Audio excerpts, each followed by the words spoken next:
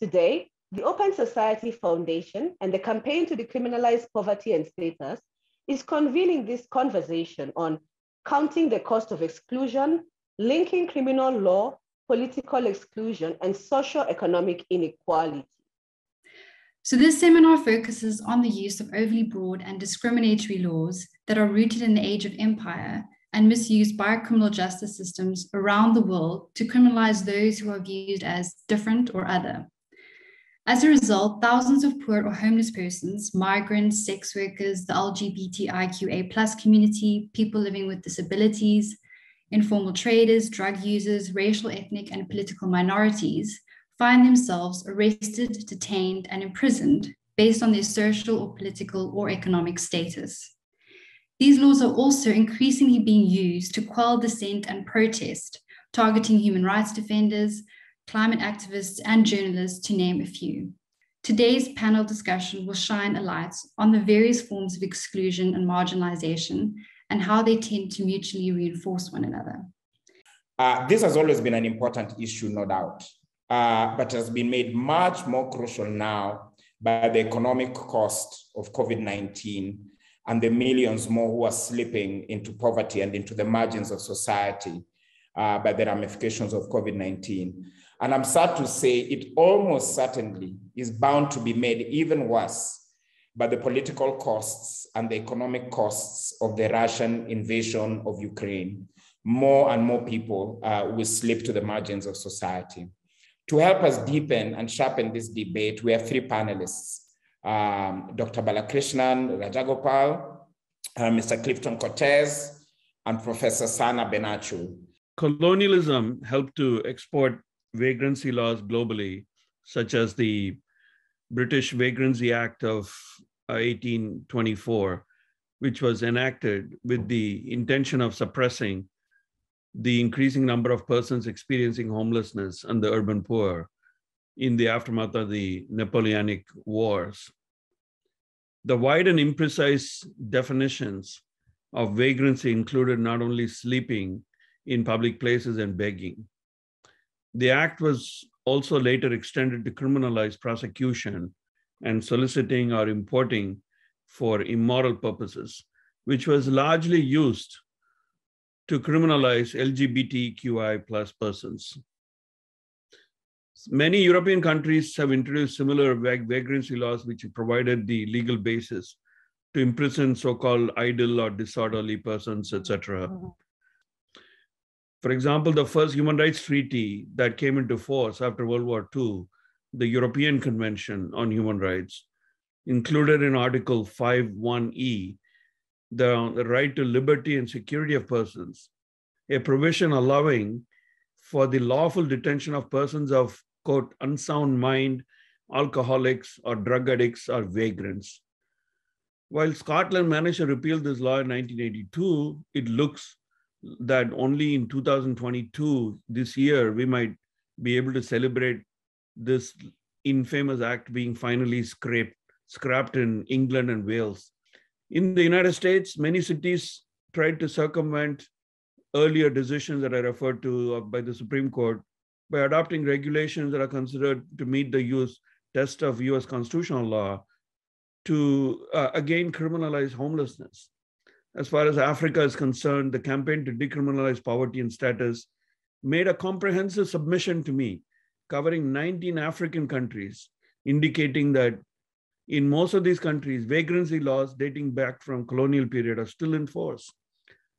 In South Asia, anti-vagrancy or anti-beggary statutes were adopted during the same colonial period and are systematically used to hound and harass the poor.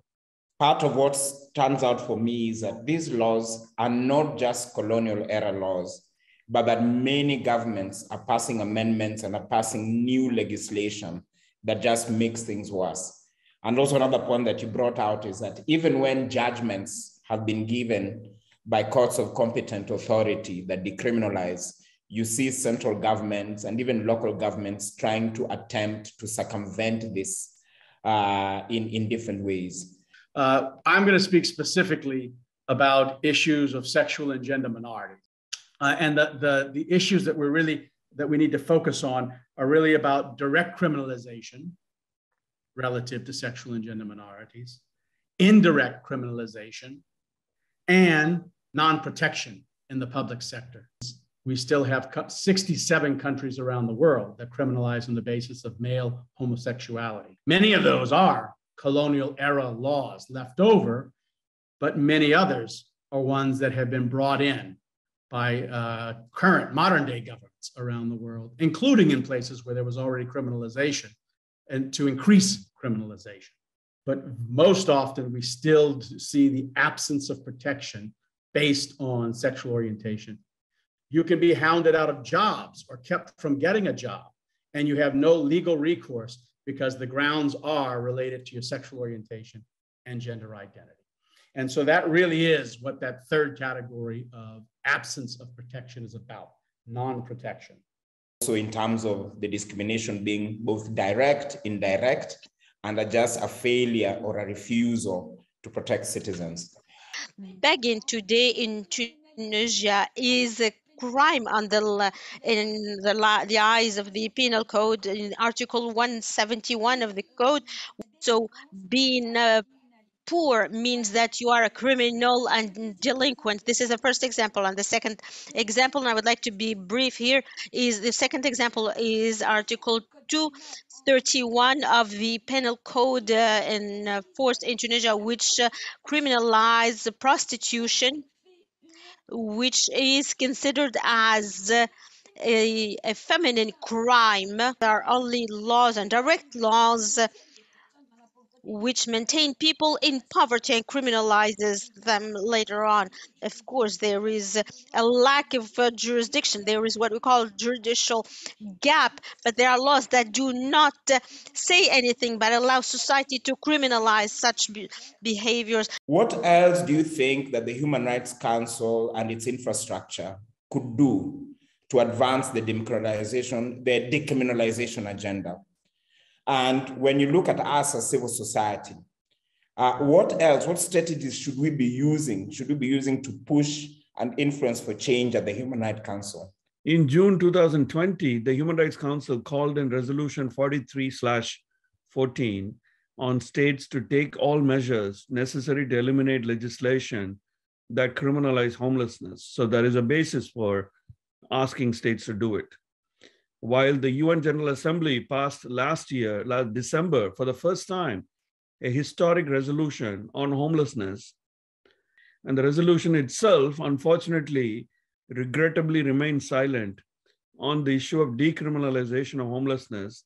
Besides the UN system, the regional human rights mechanisms are terribly important.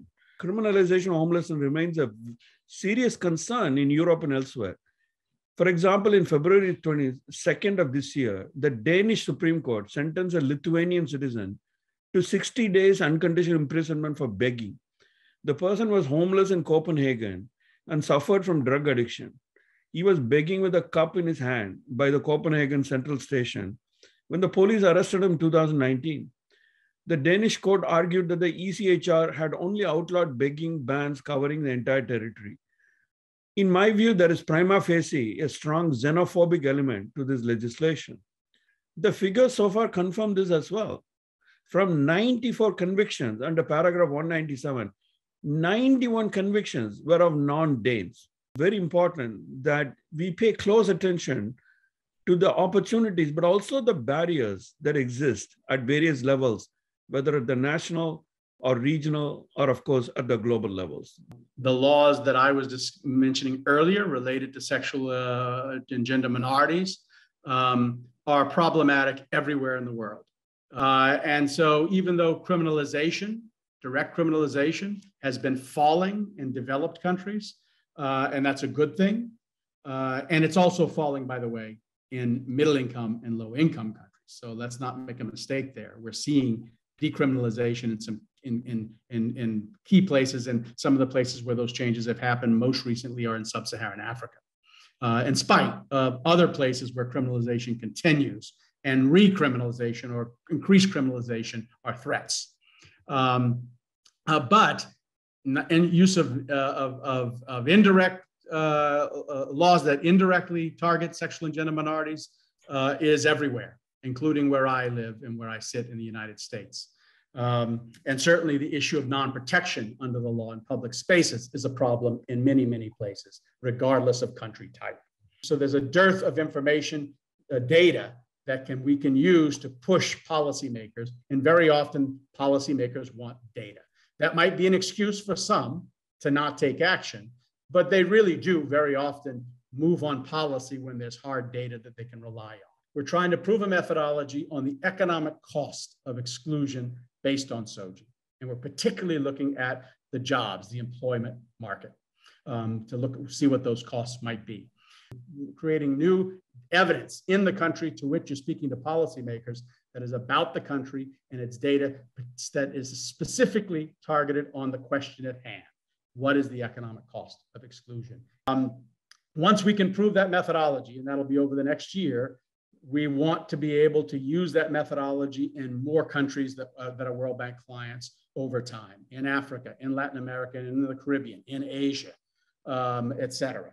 So we have a history, uh, uh, the bank, a track record of helping counterparts build this evidence base that ties exclusion, including under the law, to issues of po increased poverty, reduced human capital, uh, negative development outcomes for the, for the country. Um, and the future is bright for this kind of evidence building. The governments of the world, as represented through their appointments to the UN, they all have an, they have an informal uh, grouping of countries that really do want to move this agenda of equality based on SOGI, as well as the inclusive development agenda that is inclusive of sexual and gender minorities. So that grouping is called the, the Equal Rights Coalition, ERC. In Tunisia today, there is no jurisdictional control of these measures. The constitutional court has not been set up. The temporary court has been abolished, which means that today we are navigating, we are living in a country where there is nothing, I mean, really nothing, where the system has collapsed, uh, the biggest opportunities are those uh, that civil society has developed in an autonomous way. I mean, really seriously autonomous. If there is a, a, control power of democratic vigilance or watchfulness uh, and uh, solidarity, because it's very active, uh, it's really Tunisian civil society. And uh, today, and we have uh, with the support of certain uh, agencies or, uh, you know, of the UN or of other, uh, other associations uh, of CSOs in Tunisia, we have been able to see all the mechanisms, uh, all the observation and monitoring mechanisms for democratic uh, surveillance that are being set up by Tunisian CSOs. So it means that they, we are trying today to document in a systematic way all the breaches uh, to human rights, uh, to equality, uh, to, and which are based on gender discrimination, the poverty discrimination, and also discrimination based on the status of people. The opinion of the African court, of which uh, Mr. Raj spoke about, uh, was, uh, you know, for us in Tunisia of a high, very big importance uh, in, Tunisia. I've used it uh, for all it's worth uh, because they give arguments, they allow advocacy to show what today in a country of Africa, we cannot continue to criminalize it. These, uh, you know, uh, petty crimes that based on poverty and status. How do we make criminalization based on sexual orientation and gender identity more human. You can't. You have to get rid of bad laws. Uh, there are some inalienable uh, uh, rights uh, we cannot uh, give to uh, people just a small dignity or three-fourths of a dig dignity. We need to abolish these laws. We need to have a policy or, or police, or where you have prevention, where you have a acknowledgement of uh, all people and where the central state and public authorities, what, uh, whatever their level, be uh, responsible uh, for ensuring the development of all persons. We need to think outside the box a little bit. I would encourage civil society groups to think not only about other human rights networks or networks of other national human rights organizations, but also other networks such as, for example, networks of cities and local governments. Uh, a network like United Cities and Local Government, UCLG, for example. There's no humane way to deal with vagrancy laws. They have to be repealed. But the reality is that, you know, even if the vagrancy laws are repealed, there are so many other indirect laws that have been introduced. For example, you know, UK has the Anti-Social Behavior Crime and Policing Act of 2014 that criminalizes something called anti-social behavior. So there is no exception here except to say that constant vigilance is the only price of freedom here. We just have to assume that even if all the vagrancy laws are repealed, there are always going to be laws on the books that will criminalize and uh, you know make it very difficult for all kinds of marginalized people. I, I don't think we should overlook the difficulty of um, of uh, collecting appropriate, verifiable, rigorous data. The legal frameworks are terribly important, but we shouldn't over sort of fetishize the importance of legal frameworks and repealing vagrancy laws for their own sake. There are other implementation challenges, even if all the laws are repealed. One of our objective, objectives was to continue building a community, com- continue expanding the community. And I think that that has been done. We've got new faces, we've got new input. I think information has been shared, both of bad practices, but also good practices. I think ideas on further advocacy have come up in the course of our discussion. For instance, exploring the communications procedure at the UN special mechanisms where appropriate, engaging the World Bank Group more and the World Bank Group as a potential partner that we can work with, um, engaging this UN habitat process more, uh, and even the suggestion given by uh, Raj that we should expand contacts and allies, for instance, with bodies like United Cities and Local Governments, UCLG. The poverty is a result of the non-implementation uh, of these laws. And scientists need to tackle the issue of poverty and not through the criminal code or criminal laws. The concentration of people in prisons is the result of most of people who cannot access the justice system. They receive no justice. There is no justice for them because they cannot be protected. I want to thank everyone for making time for this discussion. On behalf of the whole team, thank you, goodbye, and stay safe.